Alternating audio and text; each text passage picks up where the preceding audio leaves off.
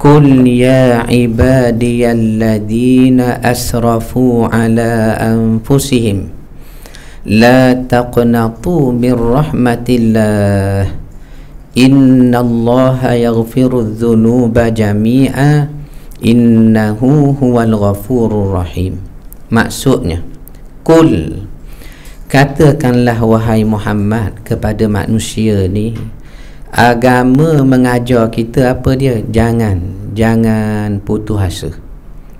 Ya ibadi wahai hamba-hambaku kata Allah. Alladina asrafu ala anfusihim yang melampaui batas. Maknanya walaupun dibuatnya maksiat dari muda sampai sekarang tu berat lagi nak tinggal contohnya ataupun dikira-kira dihitung-hitung umurnya banyak yang lara daripada ingat kepada Tuhan. Contohnya ataupun masa muda dulu duduk masjid puasa sunat baca Quran.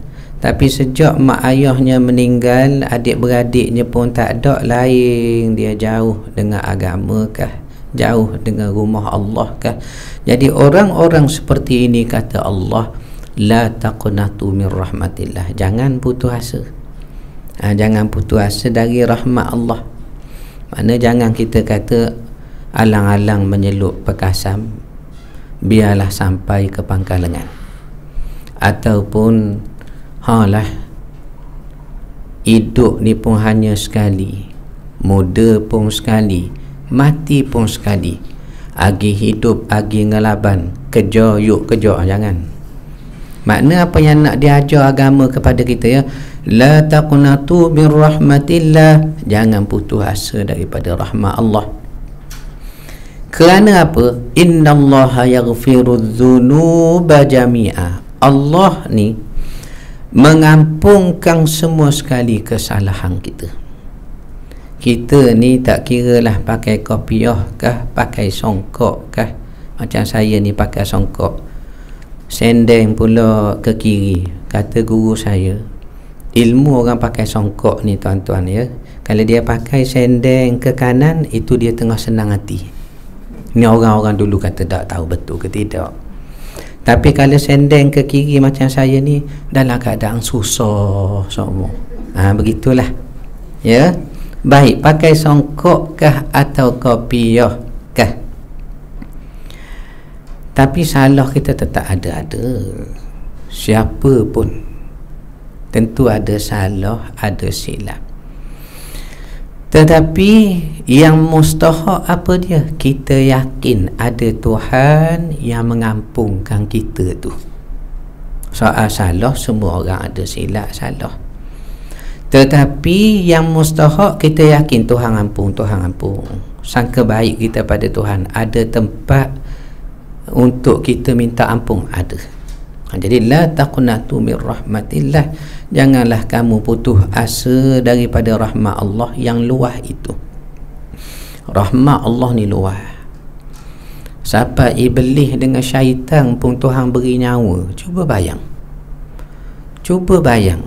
Kalau kita dah patut iblis syaitan ni biar tak ada matilah kena panah di peti panah di lita mudah tapi nak kabarnya Tuhan ni maha kaya sampai nyawa tu iblis dengan syaitan pun oh, bergantung kepada Tuhan juga. Apatah lagi kita ni? Anak Adam umat daripada Nabi terbaik sehingga kita pun terpilih sebagai umat terbaik.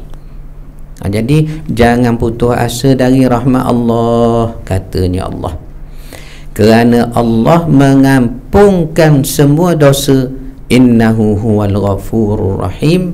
Sesungguhnya Allah ni maha pengampung sangat lagi maha lah penyayang sangat. Kalimah ghafur ni kita mengaji bahasa Arab dia didatangkan dalam bentuk sirah mubalaghah.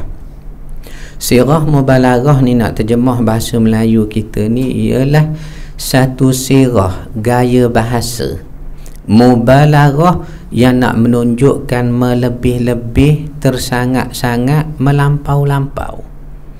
Jadi bila sebut innallaha yaghfiru dzunuba jami'a innahu huwal ghafur sesungguhnya Allah ni maha pengampung yang melebih-lebih terlampau-lampau. Sangat-sangat berdoa lalu. Ha tu dia. Ar-Rahim. Lagi maha penyayang. Surah Az-Zumar